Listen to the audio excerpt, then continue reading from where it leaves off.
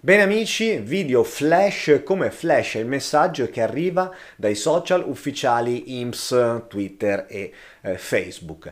L'istituto infatti mh, conferma come nel giro dei prossimi due mesi i trattamenti pensionistici passeranno da una rivalutazione per equazione del 2,2%, che è un indice che abbiamo raggiunto, sapete, grazie all'anticipo della rivalutazione 2022 e al conguaglio di quella 2021, ad un aumento perequativo completo proprio a gennaio 2023, quando appunto eh, scatterà la rivalutazione per tutti, diciamo per tutti i trattamenti, sulla base ovviamente degli indici mh, dell'inflazione eh, di, di, fine anno per questo pazzo no, e tormentato 2022.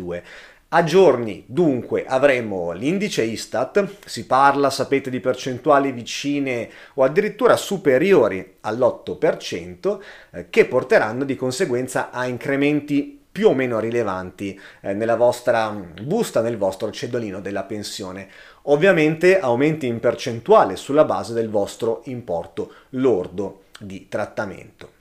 INPS ci ricorda infatti che la perequazione o rivalutazione delle pensioni è un meccanismo di scala mobile che eh, serve proprio ad adeguare in percentuali i trattamenti eh, pensionistici e anche quelli assistenziali, tra l'altro, eh, adeguarli a cosa? Al costo della vita, proteggendo così il loro potere d'acquisto.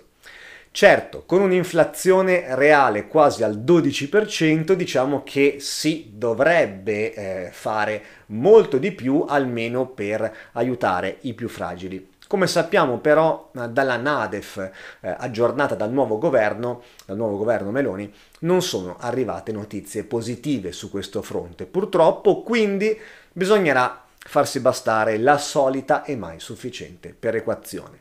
Detto questo, iscrivetevi al canale per eh, sapere, rimanere aggiornati e sapere ovviamente immediatamente il tasso ufficiale di rivalutazione appena uscirà. Detto questo, io vi saluto, uh, video flashissimo, spero sia stato comunque interessante, se così non scordatevi un bel like, noi ci vediamo ovviamente alla prossima. Un abbraccio da Mr. Lull.